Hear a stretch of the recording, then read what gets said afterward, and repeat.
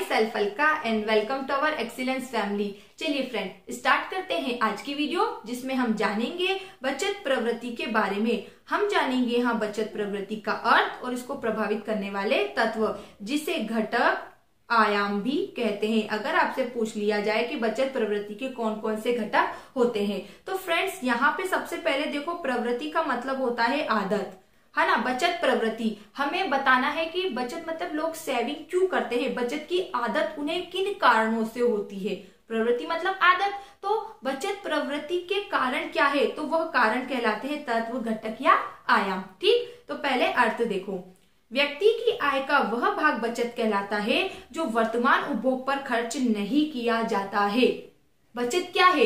व्यक्ति की आय का वो हिस्सा, जिसे वह खर्च नहीं करता है और बचाकर रखता है। जैसे किसी व्यक्ति के पास एक हज़ार रूपए है तो उसमें से इसने छह सौ रूपए खर्च कर दिए और चार सौ रूपए अपने पास सेव करके रखे हैं। तो ये क्या हो गई? बचत। तो व्यक्ति की आय का वह हिस्सा, जिसे वह खर्च न करके बचा लेता है, उसे बचत कहते हैं। अब ऐसी बचत करने का कारण क्या रहा? क्यों उसने एक हज़ार में से छह सौ खर्च किए और चार सौ बचा के रखे? तो ऐसे कुछ कारण है, जैसे आय बचत करने की इच्छा, दूरदर्शिता, व्यक्ति का स्वभाव और प्रतिष्ठा की लालसा, इन कारणों से व्यक्ति हमेशा बचत करके रखता है। ठीक है? डिटेल से जानते हैं। पहला लिखा है आय इनकम लिखा है, आय तथा बचत में परस्पर प्रत्यक्ष संबंध होता है। आय बढ़ती है तो बचत भी बढ़ती है और आय घटती है तो बचत भी घटती है। तो पहला उसने क्या बोला कि व्यक्ति बचत किस आधार पर कर रहा है? अपनी इनकम के आधार पर। अगर इनकम बढ़ेगी तो बचत भी बढ़ेगी और इनकम कम होगी तो बचत भी कम होगी। तो आय और बचत में सीधा संबंध होता है। सीधा मतलब एक बढ़ रहा है तो दूसरा भी बढ़ेगा, एक घट रहा है तो दूसरा भी घटेगा। ठीक? सेकंड बचत करने की इच्छा। ऐसा कोई व्यक्ति नहीं है जो बचत करना नहीं चाहता है। तो बचत वस्तुतः बचत करने की इच्छा पर निर्भर करती है। यदि हम बचत करने के इच्छुक हैं तो बचत संभव होगी, अन्यथा नहीं। हम पढ़ रहे हैं बचत प्रवृत्ति के तत्व। मतलब कि प्रवृत्ति मतलब आदत, के लोगों में बचत करने की आदत कहाँ से होती है? तो यहाँ बोला है कि किसी की इच्छा होती है बचत करने की तो बचत होगी, अन्यथा नहीं होगी। एक पढ़ा हमने फ़र्स्ट आय, कि उसके पास आय है तो वो बचत करेगा। आय बढ़ती जाएगी तो बचत बढ़ती जाएगी। आय कम होगी तो बचत भी कम होती जाएगी। थर्ड है दूरदर्शिता। इसमें लिखा है, यदि व्यक्ति दूरदर्शी है मतलब दूर की सोचने वाला होगा तो उसमें बचत की प्रवृत्ति अधिक होगी।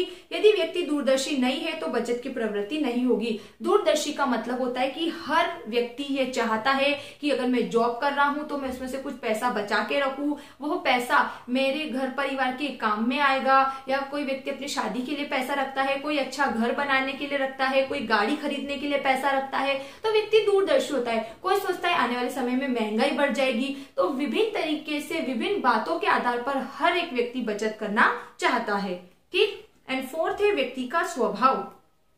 कुछ व्यक्ति खर्चीले स्वभाव के होते हैं मतलब जिनके पास पैसा रुकता ही नहीं है, आया और गया। और कुछ व्यक्ति मिट्टी होते हैं मतलब कि कम खर्चीले, पैसे बचाकर रखने वाले। मिट्टी व्यक्ति खर्चीले व्यक्ति की तुलना में अधिक बचत करने की स्थिति में होगा। तो व्यक्ति का स्वभाव दो तरह के व्यक्ति होते हैं। खर्चे करने वाला, एक खर्चा नहीं करने वाला। नहीं करने का मतलब है यहाँ खर्चा तो करता है, लेकिन कम करता है। तो ऐसा व्यक्ति मित्तीव्यय व्यक्ति के पास हमेशा बचत अधिक होगी और खर्चीले व्यक्ति के पास नहीं होगी। एंड लास्ट यहाँ प्रतिष्ठा की लालसा। जो व्यक्ति धनाडय होते हैं, उन्हें विशेष सामाजिक मान्यता प्राप्त होती है, इसलिए बचत करने की प्रवृत्ति बढ़ जाती है। मतलब कि धनी व्यक्ति का मतलब होता है धनाडय से। ठीक है फ्रेंड्स तो जो व्यक्ति धनी होते हैं, उन्हें विशेष रूप से सामाजिक मान्यता प्राप्त होती है, उन्हें पैसे वालों के नाम से जाना जाता है कि भाई हमारे कास्ट में व्यक्ति पैसा वाला है, या हमारे गाँव में वो व्यक्ति पैसा वाला है तो वो व्यक्ति भी अपनी एक प्रतिष्ठा को बनाए रखने के लिए खर्चे कम करता है और बचत अधिक से अधिक करता है। तो आया समझ में बचत प्रवृत्ति क्या होती है? व्यक्ति की आय का वह भाग जिसे वह खर्च न करके बचा लेता है, उसे बचत कहते हैं और ऐसी बचत वह आय के कारण करता है। बचत करने की इच्छा के आधार पर, दूरदर्शिता के आधार पर, स्वभाव के कारण और अपनी प्रतिष्ठा के कारण। क्लियर अब अगर फिर भी कोई डाउट है तो पूछ सकते हो। Thanks for watching this video bye bye